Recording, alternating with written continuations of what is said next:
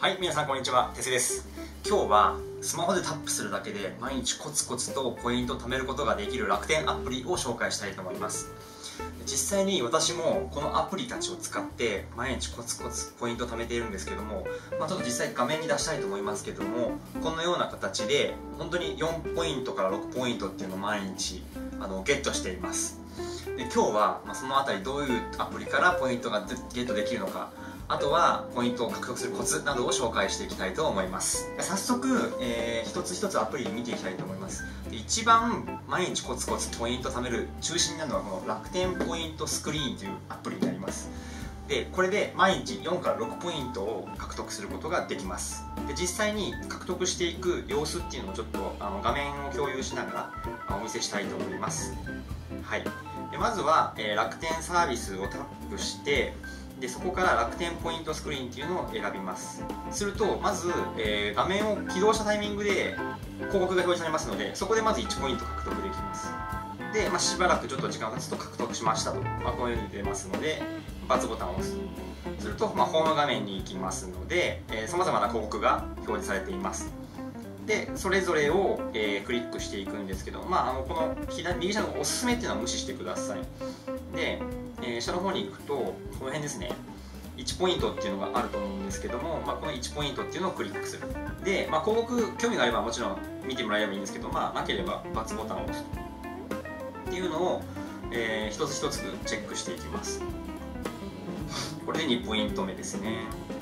はい。結構まだいっぱいありますよ。で3ポイント目がこのような形で獲得と。で4ポイント目を獲得。はい。こういう形で、え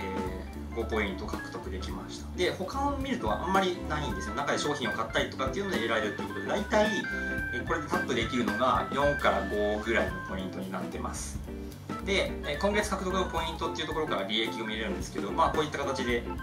すごいですよねこれ私ね。ほぼ毎日ほぼて完全に毎日ですね完全に毎日4から6ポイント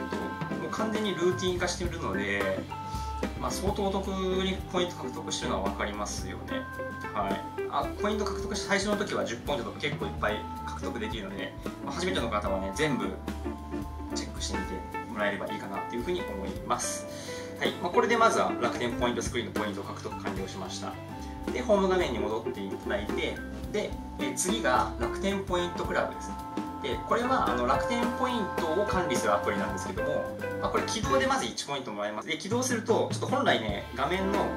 下の部分に、まあ、タップする部分が出るんですけどちょっと私1回起動してしまってちょっと表示できなくなってしまったんですけどもまあここに出て下の方に出てくるものをタップするとで、えー、もし表示されていなかった場合は左上のメニューから楽天リワードっていうのを押しますと、まあ、未獲得ポイントがありますと出ますのであまあ下の方に出ましたね。ポイント獲得。で、えー、毎日起動で1ポイントっていうのをタップすると、まあ、同じような効果が得られますので、はい、でポイント獲得しましたっていう形で獲得が完了します。はい。で、えー、続いてが楽天ゲートウェイっていうことなんですけれどもこれは楽天のさまざまなアプリにアクセスするためのアプリっていう感じです。でこれも起動するだけで1ポイントもらえます。はい出ましたね。でこれをタップして1ポイント獲得。はい獲得しました。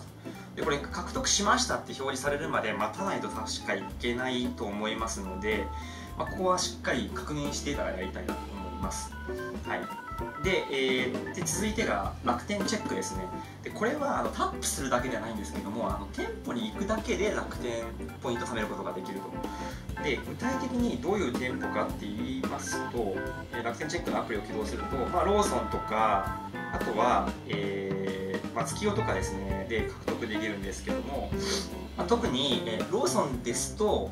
まあ、1ポイントから3ポイントのポイントが得られる。で松本清はなんと10ポイントのポイントが得られる。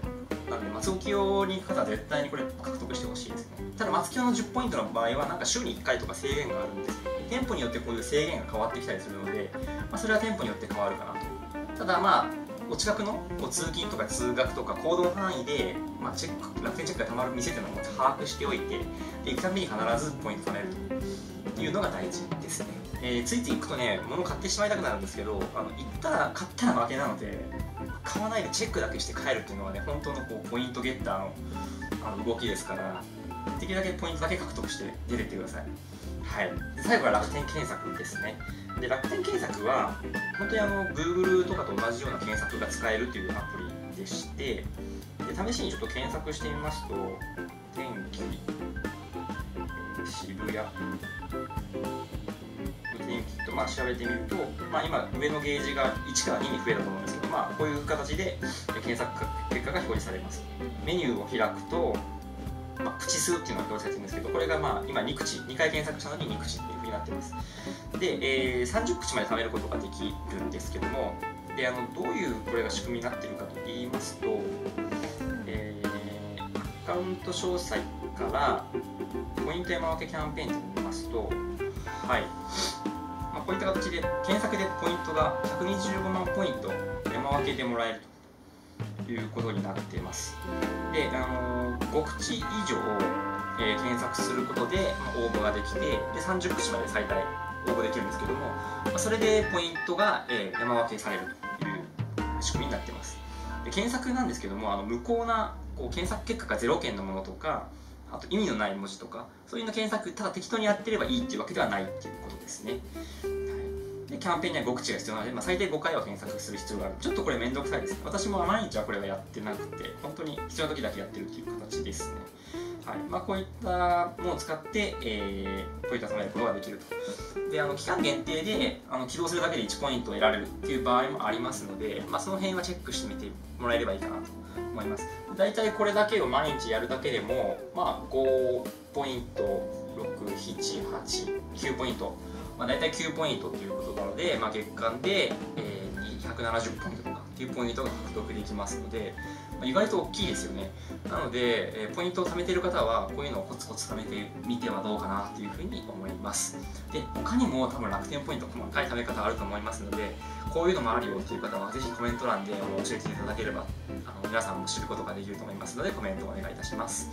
はい、ケスチャンネルではこのようにお金やキャッシュレスなどあなたの人生にとってプラスになる情報を発信しています。チャンネル登録がまだの方はぜひチャンネル登録もお願いいたします。それでは次の動画でお会いしましょう。